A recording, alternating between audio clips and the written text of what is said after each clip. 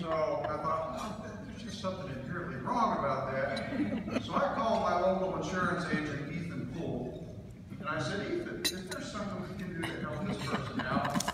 And Ethan from Insurance Com- Insurance Companies here in Charleston stepped up and donated that first year enough money for her to buy an insurance policy for the Toyota. After that, Ethan's sponsorship has continued to grow. And not only do I consider him my insurance agent, but I consider him a friend of education and a friend.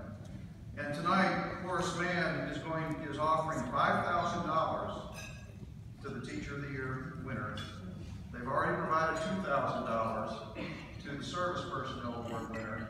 And they're offering a three hundred dollar seed money to the, I hope I get this right, Donors Choose program for all six finalists. And they will match that, they'll provide that amount. And I don't know much about Donors Choose, but I got online and I saw, Ron, all your teachers in Kanawha County are doing that. And they're making a lot of money, so I guess donors can get online and donate to, to, to any project that they choose to get involved with. And so all of the Horace Mann agents throughout the state, in the vicinities of the Teachers of the Year finalists, will work with our Teacher of the Year's finalists to set up an account, and they'll start off with a balance of three hundred dollars. Thank you for that, Ethan.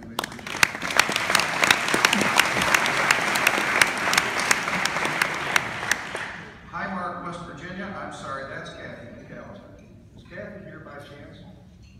Highmark, West Virginia has been a long-standing sponsor. They provide an additional five thousand dollars to the Teacher of the Year winner.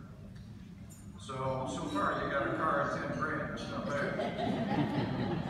For the first time this year, and I want to thank Mr. Alan Laird, I your tonight, We're running a little late, so Mr. Laird had to leave, but with Mr. Laird is Randy Burnside, and not able to be here tonight is a good friend of mine, Tommy Young, from the West Virginia Lottery Commission. I want to say this, for the first time, they are being welcomed in as a sponsor. They want to give back to public education in West Virginia because they, their mission, as you know, is to provide for education,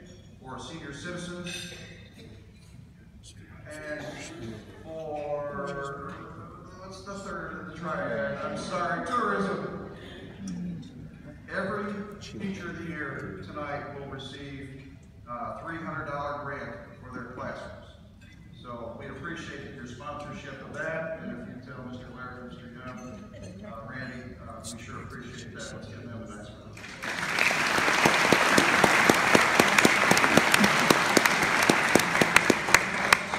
investment, and, and, and that's a first. We've never been able, you know, if your heart goes out to every single teacher of the year and do for what you do, it's hard to select winners, but for everyone to be able to walk in this, uh, out of, not, that walked in, to walk out with six hundred dollars in, in gifts tonight is, I think, very impressive, and, and, and just our sponsors are to be commended. One last, smart technologies, smart boards, everybody knows that, every finalist gets a technology package, package for their classrooms. So you can see the program's growing, and we actually, Julian has a couple on the waiting list for next year already. So we'll see how this may grow, and we'll see, see what we can do. Enough,